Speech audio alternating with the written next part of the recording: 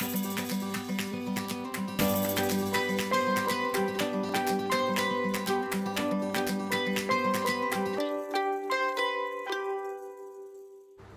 friends, this is Kumaravel. So um, very glad to meet you all uh, in this uh, online video. So this is my first time uh, I am on uh, YouTube video and uh, in the video uh, I would like to present something uh, very important and related to uh, wind energy. So I am a 20 year old wind energy specialist and uh, so uh, I have worked on various domains starting from uh, wind turbine design, wind resource assessment, uh, wind turbine testing, certification, developing new standards for wind, wind turbines, um, and then uh, working on operational maintenance of wind turbines, production process, quality assurance, and then uh, installation and commissioning of wind turbines. So almost I have worked on various areas in the field of wind energy. So with this background, uh, I wanted to uh, give back something to the uh, young engineers who are coming into this field.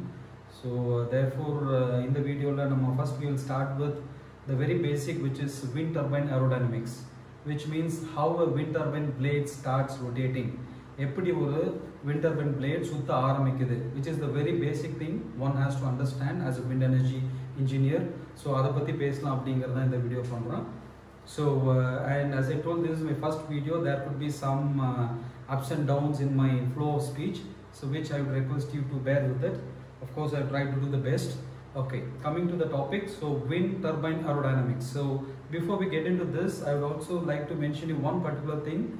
Wind turbine engineering, அப்படின்னு பார்த்தீங்க அப்படின்னா, it is an accumulated engineering where every subject comes into picture starting from the basic physics of flow of wind which is a pure physics and then you have this blade which is a rotor which is uh, aerodynamics or a, a field of mechanical engineering subject and then அதுலேருந்து பார்த்தீங்கன்னா அப்படியே hub ஹப்லேருந்து main shaft அப்புறம் gear box which is all mechanical uh, subjects which is um, kinematics uh, or engineering mechanics so you can call with different names but it all but, uh, bu- boils down to mechanical engineering அதுக்கப்புறம் பார்த்தீங்கன்னா generator வரும் so generator is a pure electrical subject and all the thing is resting on a platform called a base frame or an nacelle which is again mechanical அதுக்கப்புறம் பார்த்தீங்கன்னா டவரில் தான் the whole thing is going to be rested on a tower which is pure structural engineering subject and then down the line it goes to a civil engineering which is a pure uh, uh, civil engineering subject which talks about the foundation design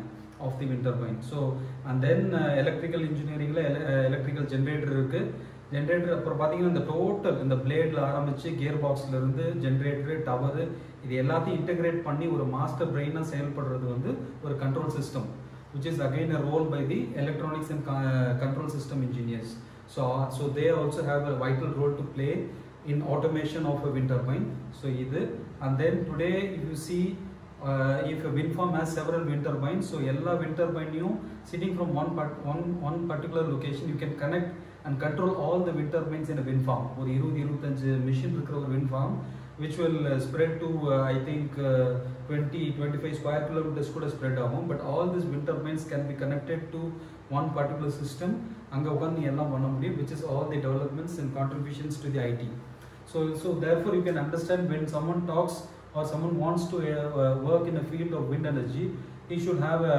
a knowledge of various domains like this so that is why I always call wind energy engineering is an accumulated engineering which talks about or which borrows or which has knowledge coming from various fields okay coming back to this topic wind turbine aerodynamics so இதில் எப்படி வந்து ஒரு wind turbine blade வந்து சுத்த ஆரம்பிக்குது அப்படிங்கிறத பார்க்குறோம் so so therefore I would like to take you to this picture so இந்த பிக்சர் என்ன அப்படின்னு பார்த்தீங்கன்னா so it is a cross section of a blade so so this a wind turbine blade so நார்மலாக விண்மில்க்கு மூணு blade இருக்கும் so assume this is one blade and there is one at the top and there is another at this side so all will have a 120 degree phase shift so இப்படி தான் wind turbine blades இருக்கும் and uh, so just to give you an idea இன்னைக்கு இந்தியாவில் இருக்கிற largest uh, wind turbine blade பார்த்தீங்க அப்படின்னா uh, it, it goes close to 65 to 70 meters so so imagine what will be the length of uh, one blade and the diameter will be double of this so almost like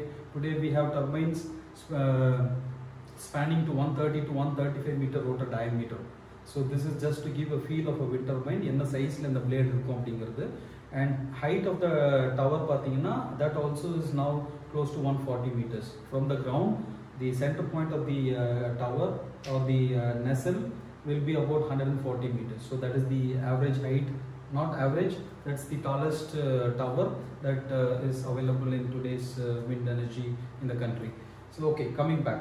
So இப்போ இந்த பிளேட்ல பார்த்தீங்கன்னா so uh, so when, while the turbine is rotating, so uh, the blade will will be in this position which is called the pitch zero position so இந்த position பேர் வந்து pitch ஜீரோன்னு சொல்லுவாங்க. இப்படி இருந்துச்சுன்னா பிச் நைன்டி ஸோ நார்மலாக இந்த position பார்த்தீங்கன்னா ஒரு ஏர்க்ராஃப்ட்லாம் பார்த்தீங்கன்னா ஏர்க்ராஃப்டோட ஏரோடைனமிக்ஸும் விண்ட் எனர்ஜி ஏரோடைனமிக்ஸும் குவைட் சிமிலர் சொல்லுவாங்க. எப்படி அப்படின்னா both the blades whether it is a wind turbine blade or aircraft blade both borrows same airfoil so இந்த பிளேட் இப்படி நீங்கள் கட் பண்ணீங்க அப்படின்னா உங்களுக்கு நடுவில் கிடைக்கிற கிராஸ் செக்ஷன் பார்த்தீங்கன்னா இப்படி தான் கிடைக்கும். So so this is a blade so இதை நம்ம இப்படி கட் பண்ணுறோம் கட் பண்ணால் நமக்கு இப்படி ஒரு ஃபிஷ் போன் கிடைக்கும். ஸோ ஈவன் ஏர்க்ராஃப்டோட uh, பிளேடை நீங்கள் கட் பண்ணிங்கனாலும் இதே மாதிரி ஒரு ஃபிஷ் போன் தான் கிடைக்கும். So and both the profiles come from same association ஐ காலேஜ் நாக்கா ப்ரொஃபைல்ஸ் சொல்லுவாங்க.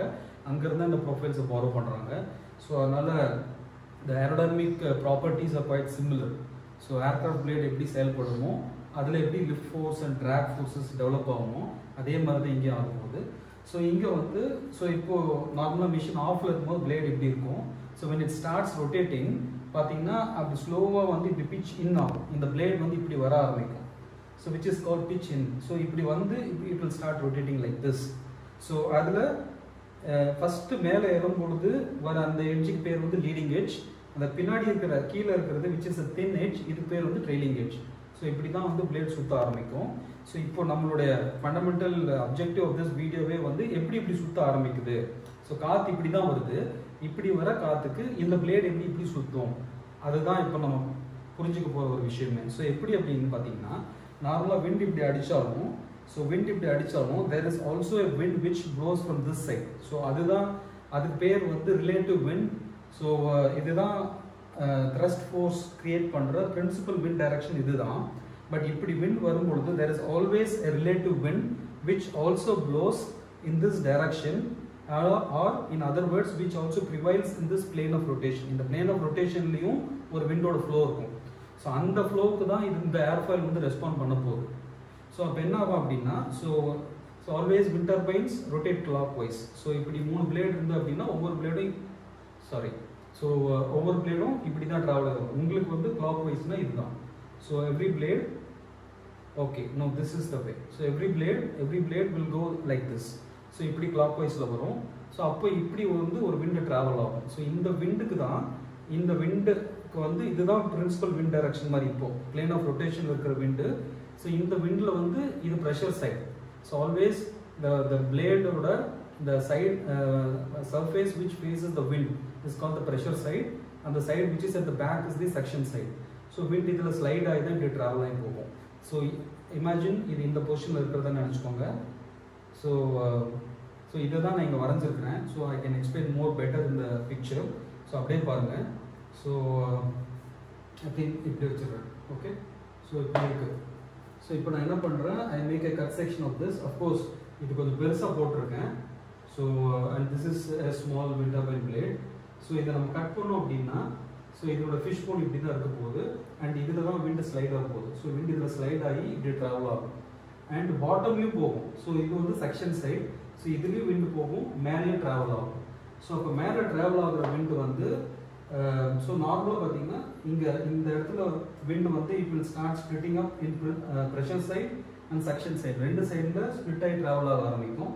ஸோ இப்படி ட்ராவல் ஆகுறது வந்து இப்படி இப்படி இப்படி வந்து So it has to travel, slide up to the end and then go, ideally speaking. But Anna Vyagadyana, because of the bulged surface here, so the wind that blows on this direction, it loses momentum at a particular point and then start uh, having a diversion. Whereas the wind which flows on the suction side is a sudden bow. So இந்த இடத்துல பார்த்தீங்கன்னா high வெலாசிட்டியில் travel ஆகும். இந்த air particles or wind which travels on the which slides on the surface of the suction side அது சல்லுன்னு போகும். So which is a high velocity flow high வெலாசிட்டினாலே pressure கம்மியாக தான் இருக்கும். So which we all know basic physics தான். So எந்த இடத்துலையுமே any fluid velocity ஜாஸ்தியாக இருக்கிறத ப்ரெஷர் கம்மியாக இருக்கும். ப்ரெஷர் அதிகமாக இருக்கிறது வெலாசிட்டி கம்மியாக இருக்கும். ஸோ இந்த இடத்துல பார்த்தீங்கன்னா இது is a pressure side which is the pulsed side so இதில் விண்டு வரும்போது பார்த்தீங்கன்னா இட் லூசஸ் வெலாசிட்டி ஏன்னா because of the surface itself அப்போ பார்த்தீங்கன்னா இங்கே ஹை ப்ரெஷர் இருக்கும். So that is why it is call high pressure and இது section side so pressure side section side so என்ன ஆகும் அப்படின்னா ஒரே ஏரோடைனமிக் எலிமெண்ட் இது வந்து ஒரு ஏரோடைனமிக் ஆப்ஜெக்ட் இதில் ஒரே ஆப்ஜெக்டில் ஒரு பக்கம் ஹை ப்ரெஷரும் ஒரு பக்கம் லோ ப்ரெஷரும் இருந்தால் என்ன ஆகும்? நேச்சுரலாகவே high pressure and low pressure இருக்கிற இடத்துல it will try to balance out each other ஒரு ஈக்குவலிபிரியம் வர தான் ட்ரை பண்ணும். இல்லைன்னா அந்த இடத்துல ஒரு ஒரு ஒரு ஒரு லிஃப்ட் ஃபோர்ஸ் இருக்கும். அதை it try to move away from the from the existing position until it reaches an equilibrium so அதுதான் பேசிக் மூமெண்டம் இல்லையா? ஸோ அப்போ என்ன ஆகுது அப்படின்னா இது இந்த ப்ரெஷர் சைடு வந்து நேச்சுரல் லிஃப்ட் ஆகும். ஸோ இங்கே தான் நம்ம என்ன பண்ணுறோம் அப்படின்னா so yeah. No it is like this right? Clockwise yeah. So இப்போ இப்- இப்படி விண்டு வருது. ஸோ நம்ம என்ன பண்ணுறோம் ஸோ இப்படி இப்படியும் விண்டு வரும். So it is on the plane of rotation இப்படி விண்டு வந்தபோது இது என்ன ஆகும் அப்படின்னா இது இப்படி ஸ்லைடாகி போகும் இது இங்கே போகும். அப்போது இந்த ஹை ப்ரெஷரில் இதை நம்ம என்ன பண்ணுறோம் இந்த இடத்துல ஃபிக்ஸ் பண்ணிடுறோம். ஸோ அப்போது அப்போ this has only one degrees of freedom so இது நினைக்கிற மாதிரி ப்ரெஷர் சைடு இங்கே செக்ஷன் சைடு இருந்தாலும் இது இப்படி போக முடியாது. So where fixing it here and it also has a different profile here இங்கே பார்த்தீங்கன்னா ஒரு ஸ்லைடிங் ஆன ஃபீலிங்லாம் இருக்கும்.